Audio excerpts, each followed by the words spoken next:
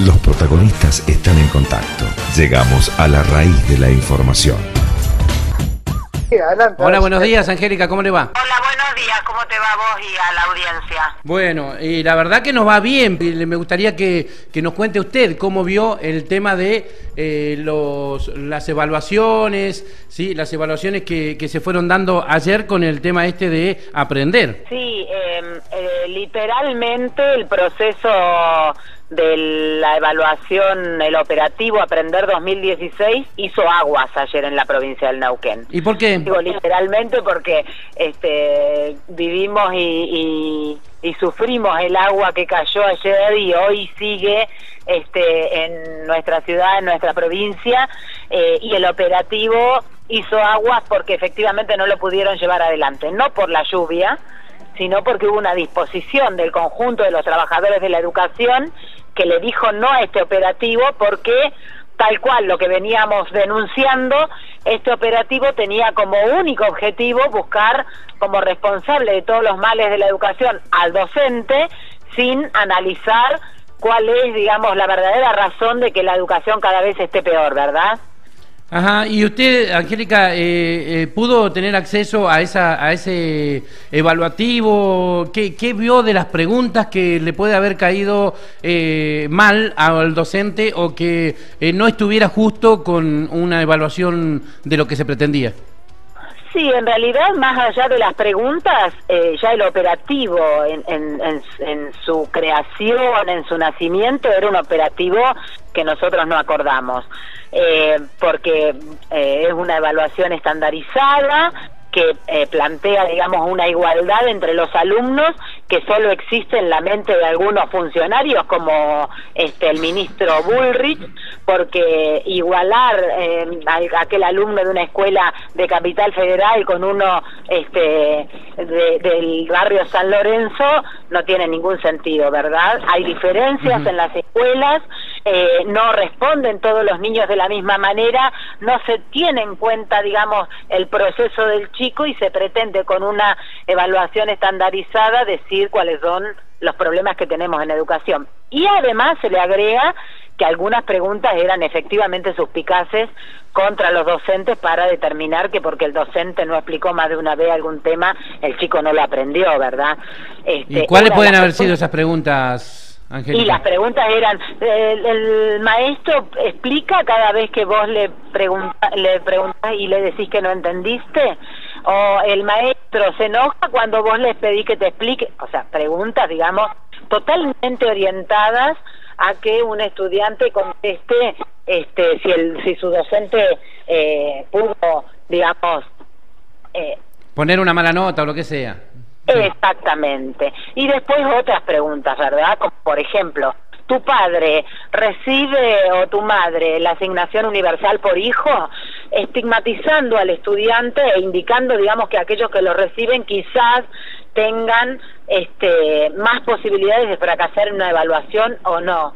Entonces nos parece, digamos, que el operativo en general hizo agua en la provincia del Neuquén, pero también en otros lugares, en Buenos Aires, en Capital Federal, en los temas opositores y demás, donde efectivamente la política fue eh, dar el debate de que este operativo no podía pasar, no solo los docentes se negaron, sino que además los padres tomaron cartas en el asunto y no enviaron a los hijos a la escuela, ¿verdad?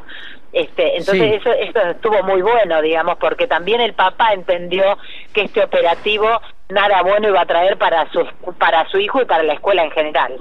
Así es, Angélica, eh, nosotros pudimos saber que en algunas escuelas privadas, por ejemplo, se negaron a hacer el, el examen, la evaluación, eh, y algunos padres tuvieron algunas discusiones con los directivos porque retiraron a sus hijos de los colegios, ¿sí? Eh, en el momento que se iban a hacer el examen. Por eso entiendo lo que me está planteando. Ahora, ¿qué le falta a la educación y cómo se puede solucionar? Porque no se entiende. Si con una evaluación los maestros no quieren que, los, que se evalúe de esta manera, o si esta evaluación está muy mal y hay que buscar una evaluación pero distinta, eh, ¿qué es lo que falta para que la educación empiece a andar mejor? Sí, lo que falta acá es una política educativa efectivamente que parta de la necesidad de que en educación necesitamos este un presupuesto mayor. Hoy en la ciudad de Neuquén, con la lluvia que cayó, hay decenas y decenas de escuelas que no pudieron dar clases, porque se viene abajo el techo, porque se llueve por todos lados, porque las conexiones eléctricas empiezan a ser un, problema para el funcionamiento de la escuela. O sea, ¿qué es lo que falta en educación? Dinero para que las escuelas funcionen, dinero para que los trabajadores de la educación estén bien pagos. Una maestra que tiene que hacer doble turno no enseña bien ni en la mañana ni en la tarde. Eso está claro. Con atendiendo 25, 30 realidades distintas de cada uno de los chicos, con las problemáticas sociales que se nos meten a la escuela y que tenemos que hacer, no solo de docentes, sino de psicólogos, psiquiatras, este, eh, somos muchas veces el, el chico de los mandados de este, los juzgados, porque no atienden las situaciones específicas de cada uno de los chicos y terminamos siendo los docentes los que tenemos que llevar el informe, exigiendo que tomen cartas en el asunto, los jueces los mismos que no dan respuesta, ¿verdad?, ante todos los requerimientos de la sociedad en general. Entonces, lo que hace falta es una política educativa que de verdad vea la educación como una inversión y no como un gasto. El día que esto se evalúe de esa manera, se terminaron los problemas y efectivamente te puedo asegurar que la educación va a cambiar y que va a mejorar, ¿sí? Angélica, le quiero hacer una consulta. Respecto de de los chicos que son integrados. ¿Usted qué opina? ¿Es, necesario que eh, los chicos estén compartiendo con otros chicos que van mucho más adelantados, que tienen otras eh, situaciones físicas eh, para ellos o mentales? Porque no, no tiene nada que ver que le falte una mano, que le falte un pie o, o un ojo. su cabecita anda perfecta y puede participar igual que cualquier otro chico, muy normalmente integrado hacia los demás. Pero hay otros chicos que tienen otro tipo de problemas y los integran también. ¿Usted qué opina respecto de la integración en los colegios? Mira, yo estoy absolutamente a favor de la integración en las escuelas comunes, pero integración, no inclusión a lo que dé. ¿Qué quiero decir con esto? El gobierno nacional y el gobierno de la provincia hace ya varios años, de varios años a esta parte, lo que ha hecho es meter en la escuela común todas las patologías a las que no podemos darle respuesta a las maestras y los maestros, porque no tenemos las herramientas necesarias para atender a ese niño o a esa niña con una necesidad especial eh, educativa. Para eso están las escuelas especiales y los profesionales que tienen los estudios realizados y las herramientas para encaminar el proceso. Entonces nos han metido en un falso debate de inclusión sí, inclusión no, o integración sí, integración no. Yo voto a dos manos la integración, pero la verdadera integración. O sea, un alumno, una alumna con una discapacidad, con una necesidad especial de, de aprendizaje y de educativa, que tenga la atención específica de la escuela especial que actúe en conjunto con la maestra de grado, porque si no lo que está ocurriendo es que la maestra de grado, sin ninguna herramienta, tiene en el aula distintas situaciones a las que no le puede dar respuesta, ni le puede enseñar a ese chico con educación este, especial, específica, ni le puede enseñar al resto porque tiene que atender a la especificidad de este niño o esta niña. No sé si, si me explico, si Me, me, podés entender cuál es el, el planteo. Sí, sí, sin lugar a dudas, es lo que, lo que yo también opino, de que sería bueno porque también existen eh, esos pedidos de los padres para que haya escuelas especiales porque ellos mismos sienten que no se le puede brindar la atención necesaria a sus hijos y como que van perdiendo también, porque en definitiva pierden los chicos que eh, tendrían otro tiempo para aprender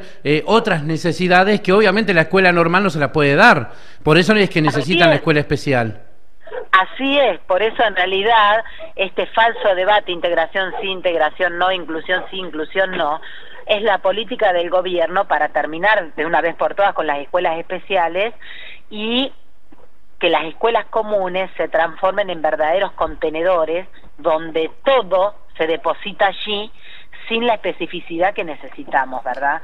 Entonces, en, eh, sobre todo en las escuelas primarias, pero hoy también en las escuelas medias, la realidad es que tenemos muchos, muchos alumnos, muchos, la mitad más uno a veces, que necesitarían una atención, una evaluación de eh, las escuelas especiales y que no la podemos obtener porque no dan abasto y porque el gobierno, eh, justamente entramos de nuevo al tema del presupuesto, no garantiza un presupuesto que determine que esos chicos que tienen este, necesidades especiales de, de educación tengan toda la atención que necesitan. ¿sí? Y lo que se hace es, bueno, incluirlos en la escuela común sin ninguna especificidad de la docente, arreglátela como pueda maestra, haz lo que puedas y en realidad termina siendo poco y nada, ¿verdad? Esa es la situación que tenemos.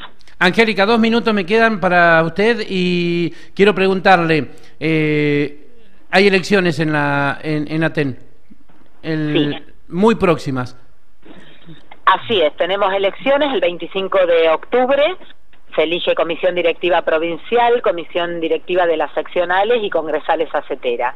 Y por supuesto hemos formado un frente que está haciendo pata ancha en cada una de las escuelas, sobre todo en Neuquén Capital, donde estamos disputando con la actual conducción de Guagliardo y de Pino, este, planteando justamente que digamos, para todo esto que te acabo de explicar, para lograr el mayor presupuesto, para defender la escuela pública, el salario de los trabajadores de la educación, las condiciones laborales, necesitamos otra conducción en Aten. Una conducción que sea democrática y luchadora, que se plantee, digamos, eh, poner eh, en pie el sindicato y recuperar todos los mecanismos democráticos. Guagliardo nos ha robado las asambleas y los trabajadores de la educación que usamos la asamblea para este debatir eh, y para digamos poner en pie el sindicato para ir por lo nuestro eh, este dirigente sindical nos ha dejado sin ellas. Vos fijate que este ayer a última hora de la tarde se levantó un paro que mm, tampoco lo había votado nadie este, pero estaba dado el paro, los trabajadores habían avisado ya en sus lugares de trabajo que hacían la medida de fuerza y que eh, digamos necesitaban este, salir a repudiar el ajuste en marcha y demás, de eh, golpe y, perrazo, y levantaron la medida de fuerza y con la situación que tenemos hoy en las escuelas, con muchas escuelas con clases suspendidas por la lluvia porque se han inundado y por distintas cuestiones, este, el sindicato nuevamente ausente. Ayer teníamos una actividad, una clase abierta por el tema de este, la evaluación, el operativo Aprender, ni siquiera se dignaron los dirigentes sindicales a venir a la Casa de Gobierno, que estábamos allí, un grupo importante de docentes, a decir se levantó la actividad por la lluvia, no vinieron, tuvieron ausente este desgraciadamente, y en esa situación estamos. Por lo tanto, el 25 de octubre llamamos a todos los trabajadores de la educación a darle la espalda a estos dirigentes sindicales que nos han robado las asambleas y a votar por la multicolor que se plantea de verdad recuperar la democracia sindical y poner en pie el sindicato para ir por el salario, contra el impuesto a la ganancia, este, contra la reforma educativa que es laboral, previsional y para defender las jubilaciones que el gobierno quiere echar mano nuevamente a la caja jubilatoria del Instituto de Seguridad Social. Angélica, muchísimas gracias por atendernos. Bueno, muchas gracias a ustedes por el espacio este, y será hasta pronto. Hasta pronto. Angélica Lagunas, dirigente de ATEN eh, eh, y bueno, docente, hablando de todo un poco y principalmente de lo que veníamos charlando, Adolfo, que tenía que ver con la situación de las evaluaciones. Los protagonistas están en contacto. Llegamos a la raíz de la información.